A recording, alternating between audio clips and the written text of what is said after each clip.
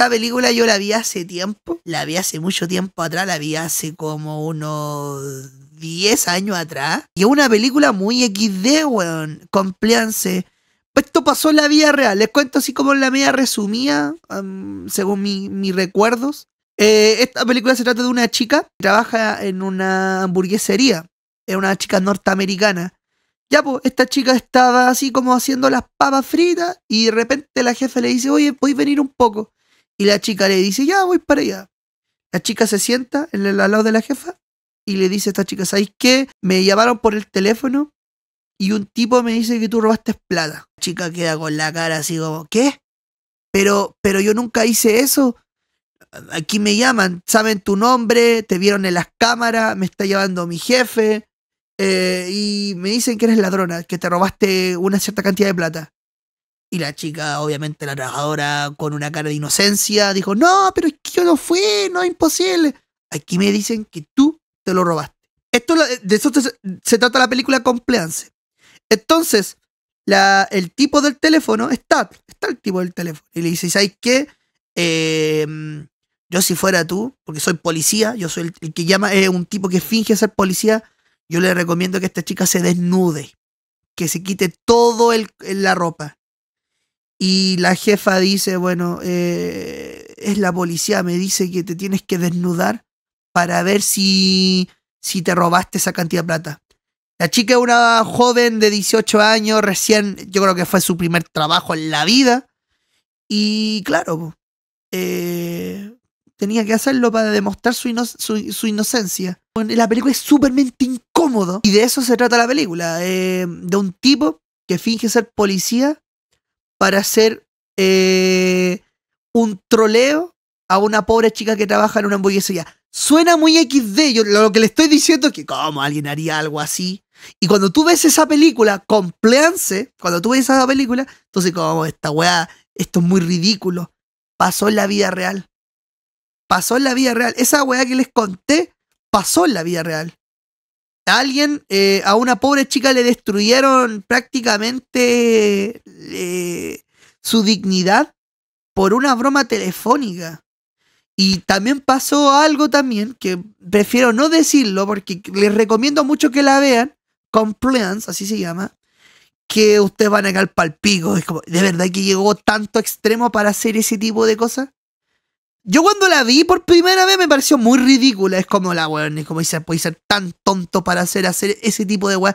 Como la chica puede ser tan tonta. Esto se nota que es un algo ficticio. Después vi la situación, después vi a la víctima, la chica, era una joven en esa época. Sí, weón, la weá turbísima. Es muy buena película, eh, la recomiendo, es del 2012, se siente más actual, es una película que envejeció bastante bien. Encontré este video, porque lo que les conté es una versión muy resumida, muy, muy, muy cortita. Este video me parece muy bueno, que lo, lo hace mi compadre Filmo, Filmomateca Maldita, creo que se llama así, Filmomateca Maldita. Creo que se llama así este compadre. Este es... Yo no he visto el video, tengo que decir que no lo he visto, pero sé que cuando él hizo, habló de esta wea, es porque porque vio la película y sintió muy interesante hablarla. Primero de todo, lo recomiendo. Bueno, este weón se autorrecomienda solo. Tiene 310 mil suscriptores. Yo, yo lo veo harto sus videos. Me gusta harto. Muy buen creador de contenido. Habla de películas muy interesantes. Le recomiendo que lo sigan ahí. Eh, también hace poco an- analizamos eh, una película que él habló que es eh, Nosferatu, el primer vampiro del cine. Así que eso, vamos a ver un poco mejor aquí, mejor detallado, más entretenido de lo que les, les resumí del principio de este extracto, de esta famosa llamada del McDonald's. El teléfono suena. Dentro del McDonald's, la encargada corre a atender la llamada. Descuelga, saluda. Hey, ¿qué pasa, Peña? No, bueno, lo más probable es que no dijese eso. Dejémoslo en un hola, ¿quién es? Al otro lado de la línea responde una voz masculina. Soy el detective Scott, de la policía. En mi comisaría hay una mujer denunciando un delito que ha ocurrido en ese local. Pues así es como empieza una de las historias más extrañas, retorcidas y sádicas que jamás he escuchado. Y que por cierto es más o menos reciente, del año Eh, 2004. 2004. Estamos frente a un acontecimiento tan perturbador que el cine ya se ha hecho eco de él en varias ocasiones. Primero a través de una película del año 2012 titulada Compliance y en 2022 Netflix estrenó Mira. una miniserie de tres capítulos que suman unos 180 ¿Quito? minutos de los que sobran la mitad. Muy Netflix. Pero que al menos tienen las declaraciones de los Grande. Principales implicados. ¿Y qué pasó aquí para que no hayan transcurrido ni 20 años y ya Yo tenga recomiendo la película. documental? Pues agarraros al asiento porque esta es una de esas historias que no te dejan frío, que da mucho para pensar sobre temas tan profundos como la autoridad, el respeto al orden, la sumisión, así que ale. Vamos al lío. Tenemos que trasladarnos en el tiempo al año 2004, en Kentucky, Estados Unidos. Y yo qué sé, para meterle un poco de color voy a continuar con la dramatización. La encargada descuelga el teléfono y la voz policial le planta la información sin vaselina. Una de sus trabajadoras ha robado la cartera a una de las clientas que está en comisaría realizando la denuncia. La descripción que ha dado es de una chica joven. ¿Alguna de sus trabajadoras corresponde con esa característica? Pues sí, la verdad es que sí, contesta ella algo sorprendida. Y nos comentan por aquí que tiene el pelo largo, ¿es así? sí, responde aún aturdida. Ajá. Rubia, ¿verdad? Le encaja alguna, ¿no? Sí, claro, Becky, se apresura a decir la jefa, anonadada por la precisión de la descripción del guardia. Bien, bien, perfecto. En breve enviaremos una patrulla. Puede que varias, porque se trata de una investigación bastante seria. Otra vez un escalofrío recorre la piel de la encargada. Ella saca fuerzas para preguntar con un hilillo de voz. "¿E- ¿Es un tema muy serio? No puedo contestar eso. De momento necesito interrogarla. Pásamela. Lo primero que hace la encargada es embroncar a Betty, que obviamente niega todo. Pero su jefa no es su jueza, las explicaciones se las tiene que dar a otro, así que la entregan el teléfono. Entonces, del otro lado de la línea se escucha. Hola Becky, soy el agente Daniels. Mira, hay una mujer que dice que te vio robando, así que de antemano te lo digo, no me mientas. Además, te ha descrito con exactitud. La joven, muy nerviosa, lo niega. Pero el Claro, agente, po. con voz calmada y actitud paciente, pide que se ponga la encargada y la manda que compruebe entre sus bolsillos si lleva la cartera robada y que la retire el móvil, para que no avise a ningún compinche. Y bueno, ya que está de paso, que mire Qué de terrible, bolsa. weón. Mm, a priori no hay Qué terrible en esa ¿Dónde lo habrá situación. Por eso la encierran en un Qué terrible esa situación que vos estás ahí encerrado eh, y te empiecen a culpar por algo que no hiciste, weón. Oh. me, me hace recordar mis, mi, mi, mi, mi, mis weas cuando trabajaba en, el, en, el, en, en una cierta pizzería y pasaba alguna weá así y todos nos teníamos que reunir porque pasó algo mal y empiezan a como a sospechar de alguno u otro. Terrible, weón. La situación es terriblemente incómoda, weón. Imagínate. Pobre chica esta debe tener sus 20 años, recién trabajando, conociendo el mundo, el mundo del, del trabajo y que le pase esa weá, weón. Eso, eso ya es un, eso te puede generar un daño psicológico bastante bélico, po, una trauma de por vida. Alguno, por ejemplo, si eso me pasara ahora, yo, anda a chupar pene, demándame, yo soy inocente de esa weá. Pero una persona joven, weón. Uf, triste, weón. en un cuarto más pequeño donde poder interrogarla en más profundidad. Mientras tanto, reténla, es tu responsabilidad. Y empieza la presión porque confiese. I'm gonna need you to address me as sir or officer. Understand? Yes, sir.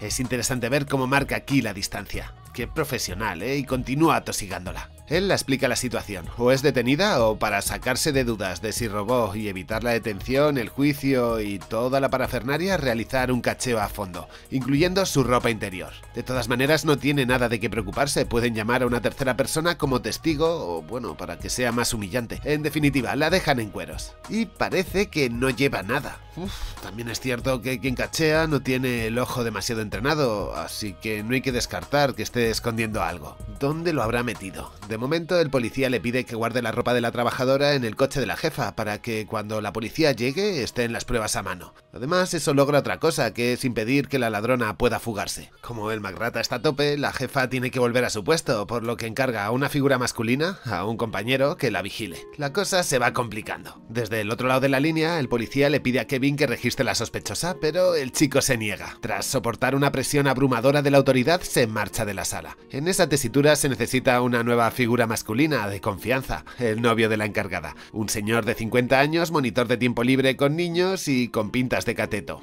Mm, y ahora es cuando la historia se pone bien turbia. Sí, weón. El agente pide a Walter, que es como se llama el individuo, que la registre. Algo que él no acaba de entender demasiado. Piensa, bueno, estoy ante un profesional, sabe lo que hace, por lo que no cuestiona mucho más las cosas y acaba siguiendo las instrucciones. Y en este nuevo registro ella ya no va vestida. Después de que su jefa se llevase la ropa al coche, solo la queda el delantal. A regañadientes se lo quita tras hablar con el oficial que le explicó las consecuencias de no colaborar. Y tampoco hay mucho que ver, parece que no tiene encima el dinero. Pero los ladrones tienen sitios y cavidades para guardarlo. Así que, como en la cárcel, a darse la vuelta, agacharse y toser para ver si esconde algo. No, mm, entonces puede que esté atascado. Toca dar saltos de mariposa. Vaya, nada, tampoco. La chica no entiende demasiado y está poco colaborativa, por lo que para hacerla respetar la autoridad hay que enseñarla quién manda. Tal vez unas nalgadas la presione para que No. confiese. Se tumba sobre el regazo del ayudante improvisado, como hacen los niños pequeños, y este la azota durante aproximadamente unos 20 minutos. Imaginad la presión a la que está sometido el pobrecito. Para aliviar tanta tensión, el policía tiene una idea. Ella debería de gratificarle con la boca. Y aquí, muy gráficamente, el director del metraje pone en plano una pajita de las de chupar refresco. Bueno, un poeta.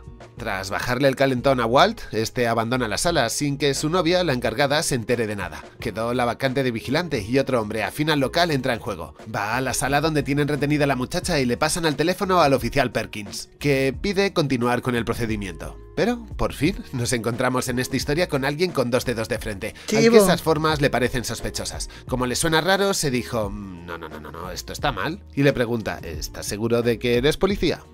Silencio. Se escucha una risa y cuelgan el teléfono. La pesadilla había terminado. Y es que todo lo que acabéis de escuchar simplemente era una broma. Una muy larga que había durado cuatro horas. Qué terrible, weón. Qué terrible, loco. Oh, Si no sospechaste desde el principio que algo iba mal, lamento decirte que tienes un serio problema con la autoridad. Aunque si te sirve de consuelo, no eres la única persona que se lo tragó. En total, se contabilizaron 73 incidentes en 32 estados durante 10 años. Pero, ¿cómo lo hizo para estar en tantos sitios? Bueno, pues porque el tipo no necesitaba estar presencialmente. Rebobinemos. Conozcamos su modus operandi. El bromista, cuando llamaba, hacía una descripción muy vaga del supuesto delincuente. Mujer, joven, rubia, casi de seguro alguien coincidiría. Solo había que esperar que el encargado de turnos señalase a ese alguien. Y eso no solo lo usaba al principio, sino que era una estrategia que continuó durante todo el interrogatorio. You have any older siblings ever been in trouble with the law?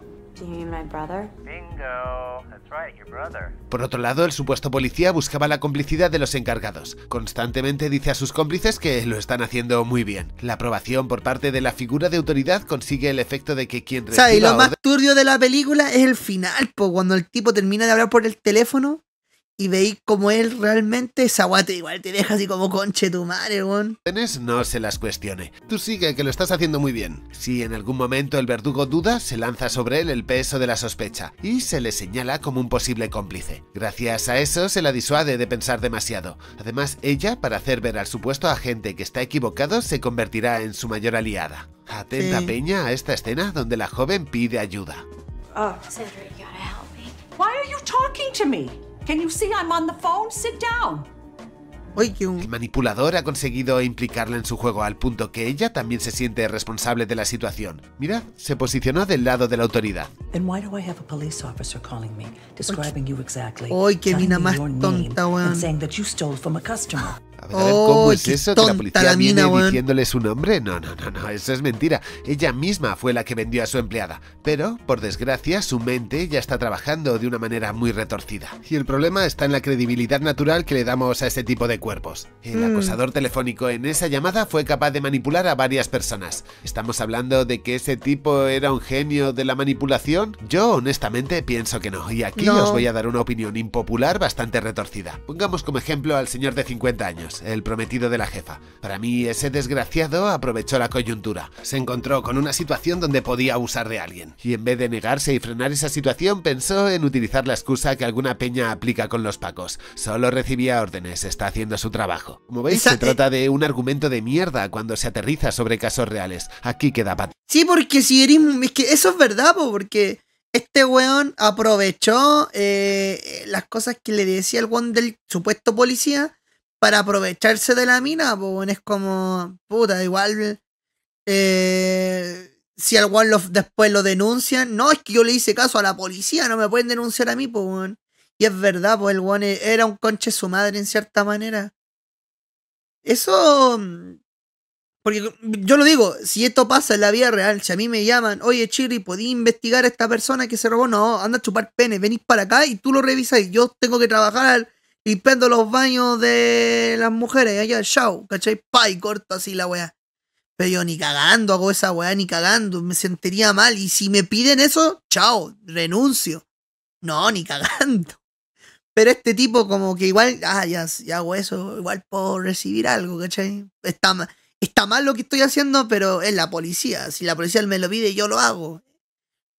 Sí, igual, es conche su madre el tipo, pues, weón. Tente. Pero dejemos de lado a los agresores y centrémonos en la víctima. ¿Cómo pudo sucumbir y formar parte del juego?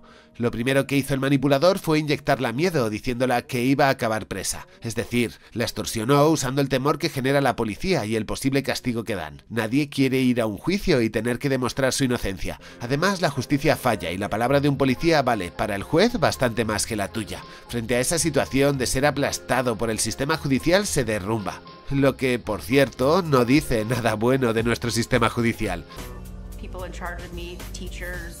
La ignorancia es lo... Ay, Por eso yo siempre digo yo, Recordemos que hubo y siempre, siempre, siempre para evitar.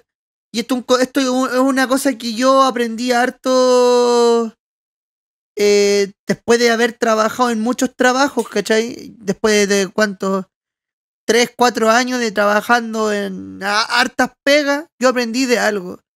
De que si tú no estudias, si tú no vas a la universidad, te va a pasar situaciones así, ¿cachai? Terrible, ¿eh? yo sé que algunos, los que van a ver este video, es como, ay, el weón ridículo, ¿cómo esta weá? Yo nunca me pasaría esta weá.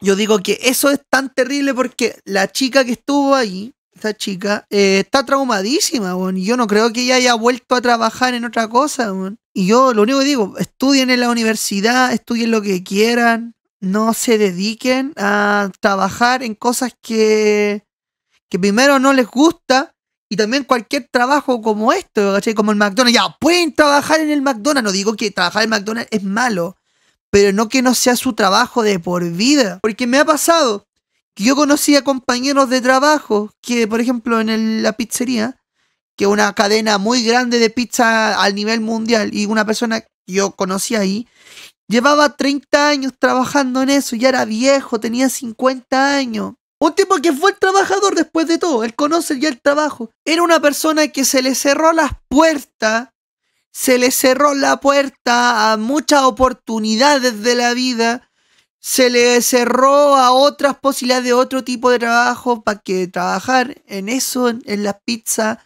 en la pizzería, que ni siquiera tampoco le gusta porque siempre reclamaba que la empresa, ay, que esta empresa me trataba mal. Eh, y después de verlo, yo dije, no, bueno, yo fue por esa situación que yo me dije, es que me voy a sacar la mugre y voy a estudiar y trabajar al mismo tiempo. Y por eso decidí estudiar en la universidad, porque si no estudiaba, tendría que trabajar en este tipo de trabajo, vivir con este tipo de gente ignorante. No me refiero que todos los que trabajan en McDonald's ignorantes, sino que ignorante como las viejas de ese trabajo. Una vieja ignorante, tonta, hueona, por chuparle el pico a, lo- a la policía, a su jefe, cometió acciones, gente ignorante. Y hay mucha gente así, en muchos trabajos como, como, como el restaurante de comida. No todos, no todos, pero algunos son así. Yo conocí gente así, y gente ignorante sí existe. Tantos casos y viendo las entrevistas a las víctimas uno puede entender qué está pasando. Que nos educan con mentalidad de esclavo. Pero volvamos con nuestro tema. Y para que entendamos... La mentalidad de esclavo es cuando tú no estudias bien. Pues si tú no te pones a estudiar, no vas a la universidad, no tienes... Si no, no quieres aprender, vas a vivir como un esclavo. Como la famosa ha dicho del videojuego Bioshock. El hombre decide, el esclavo eh, obedece. ¿A qué punto la gente respeta la autoridad solo por miedo? Escuchemos esta frase que dice Luis. No, hija mía, no hiciste lo que había que hacer para sobrevivir. Ni siquiera había una amenaza física real. Todo estaba ocurriendo por teléfono. y ignorancia. no tenías nada que ocultar. Hiciste eso porque desde niña te programaron para aceptar órdenes sin pensar demasiado. A Exacto. sentir miedo hacia las represalias por desobedecer, a no tener espíritu crítico y no cuestionar. Y bueno, eso tiene riesgos. Pero lo más salvaje de todo es cómo la víctima, en su rol, se vuelve cómplice. Y me diréis, ¿qué? ¿Qué, me estás contando? Mirad esta situación. En un momento dado, la encargada entra a la habitación mientras su prometido la tiene en cueros. A la chica, claro. En vez de dar la señal de alarma, ella se viste rápido para que su jefa no se entere de que lo que está ahí pasando está mal. Dios, me explota la cabeza con esa complicidad víctima-verdugo. Y de paso pone de manifiesto como lo de la autoridad es un juego que sabemos que está mal, pero que también nos metemos muy dentro del papel. Seguro que mientras estoy hablando de todo esto, a alguien se le vino a la cabeza el experimento de Milgram, el estudio psicosocial que servía para No, comprobar hasta qué punto renunciamos a nuestra voluntad y cometemos actos moralmente cuestionables solo porque una figura de autoridad nos lo dice.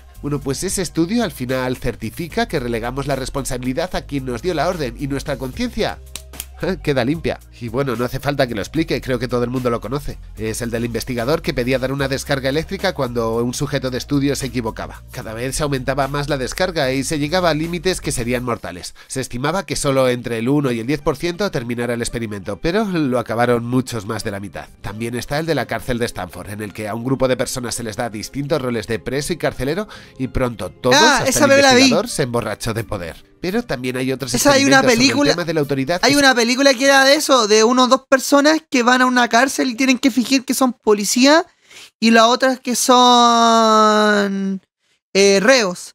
Y tienen que simular que son eso, pero es muy es muy bacán la película porque al comienzo, claro, ellos son, son actores, porque son buenos que están fingiendo tener unos roles y se lo toman en serio, po, los buenos de verdad se sentían que eran reos y otros de verdad que se sentían que eran guardias, po. Y es buena esa película, no me acuerdo cómo se llama, pero el actor es famoso. El. Puta, ahí en la. Chirri, Chirri Editor.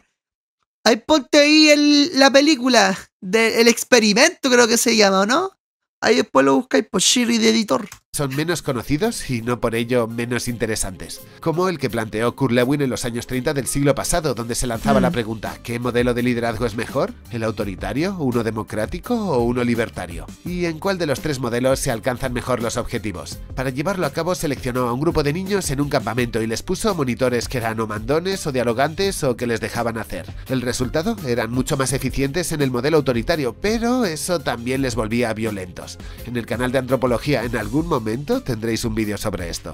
Nadie va a cuestionar que el bromista telefónico es culpable, pero ¿hasta qué punto no hay una parte de la responsabilidad en la víctima? Al Sí, fin y al cabo siempre tuvo la posibilidad de negarse, de levantarse, de decir no, mira, hasta que no vengan los guardias de verdad no pienso hacer nada. Pero en cambio entró dentro de un juego bastante sádico y oscuro.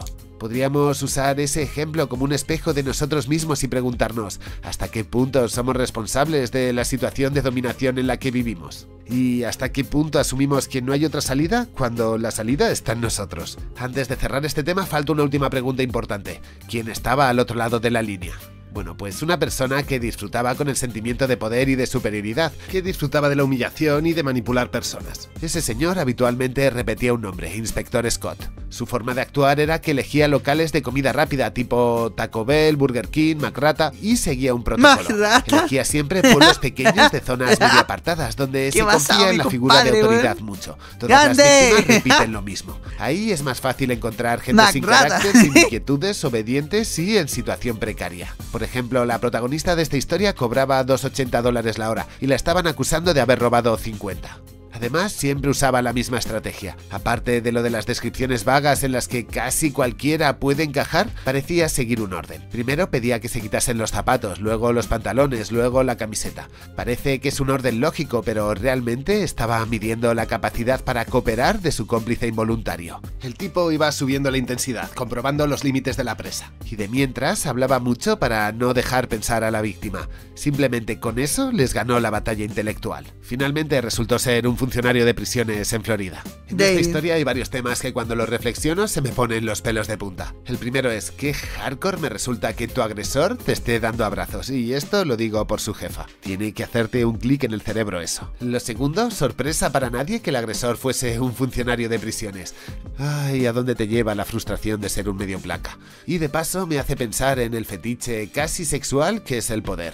Otra cosa que me llamó la atención es que la broma solía acabarse cuando entraba alguien ajeno. Veía la escena y decía, eh, no, hasta aquí. Todos los que en un primer momento entraban a formar parte del juego, hasta la víctima tomó un rol. No eran capaces de abandonar esa dinámica. Y una cosa que me preocupa es que después de haber visto el documental y las reflexiones que hace la gente, nadie se para a pensar que tengamos un problema de educación con la autoridad. La solución, o mejor dicho, el parche fue aumentar el castigo por hacerte pasar por policía. Ah, y lo más escalofriante, Claro. McDonald's, que llevaba años recibiendo denuncias, que estaba enteradísima de todo esto y no puso en aviso a ninguno de sus trabajadores. Ni siquiera se molestó en mandar una circular. La verdad es que no sé si por evitar un escándalo mediático, que acabó sucediendo, o porque es política de empresa no cuidar a sus curritos. Dios, este señor vive en el país de la piruleta. Uf, creo que estas afirmaciones así de escalofriantes, tan poco reflexivas e ingenuamente apartadas de la realidad, son el caldo de cultivo ideal para sucesos como la llamada del McDonald's. Ahora quiero agradeceros llegar hasta el final del vídeo y enviar un saludo a Joa, a Osvaldo R, Muy buen weón. Muy buen video, así es. Bueno, eh, la recomiendo harto. Se llama Compliance. Véanla. Yo la- lamentablemente no sé si está la película subtitulada en español. Yo la tuve que verla en inglés. Porque cuando la vi hace, hace 10 años atrás, la vi en DVD. Y la vi original, pero no tenía subtítulos. Y cuando la volví a ver hace poco, no la encontré subtitulada. Pero si usted la encuentra subtitulada o si la transmiten por su plataforma streaming, recomendadísima, veanla. De verdad es una película que te hace mucho pen cuestionar y también es una película que te hace enseñar. Te enseña que si pasa una situación así y te culpan a ti por una wea así, tú no tenés que caer a eso, ¿cachai? Tú tienes que demostrar tu inocencia. No caigas a las cosas que te piden las empresas. El, tu jefe, tu jefe en McDonald's, en una fábrica o cualquier cosa, él no te puede obligar a hacer algo, actos tan de inmigrante. Con esa película yo aprendí bastante últimamente de, de, de no caer a la ignorancia como era la protagonista de esto. Así que eso, muy buen video, Filmomateca Maldita, como siempre, es un excelente video, los recomiendo mucho que lo sigan. Eh, un de unos muy buenos youtubers. Así que, eso, esa es mi recomendación de pelis del día de hoy. Yo espero que la vean. Y si la vieron, escríbanme en la caja en los comentarios qué opinan. Y eso. Peli. Woo!